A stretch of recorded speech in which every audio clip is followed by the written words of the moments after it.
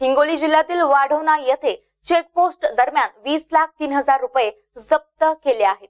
विदर्भातील खासगी Cola Janata commercial bank Risod येथून शाखा सेनगाव येथे एक कर्मचारी गाडीमध्ये वीस लाख तीन हजार रुपये घेऊन जात असताना पोलिसांनी ही रक्कम जप्त केली आहे. आचारसंहिता लागू असताना निवडणूक आयोगाची कोणतीही परवानगी न घेतल्यामुळे ही कारवाई करण्यात आली आहे. असं निवडणूक अधिकारी अतुल चोरमारे यांनी सांगितलं आहे. पाहुयात.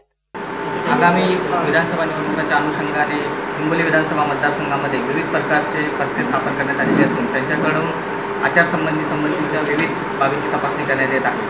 अ, वाढवणा चेकपोस्ट तालुका सेनगाव येथे अकोला कोऑपरेटिव्ह बँक यांच्याकडून सेनगाव येथील शाखेत येणारी वीस लाख रुपयाची रक्कम संबंधित पथकाने ताब्यात घेतलेली असून सदरील रक्कम ही संबंधित बँकेची असल्याचे निदर्शनास आलेले आहे. संबंधित जी रक्कम आहे ती सोमवारी माननीय जिल्हाधिकारी कार्यालय स्तरावरील जी समिती स्थापन करण्यात आलेली आहे त्या समितीसमोर सदरील प्रकरण ठेवण्यात येईल आणि त्यामध्ये निवडणूक कायद्याअंतर्गत जे काही अनुषंगिक नियम आहेत त्याप्रमाणे पुढील कार्यवाही करण्यात येईल.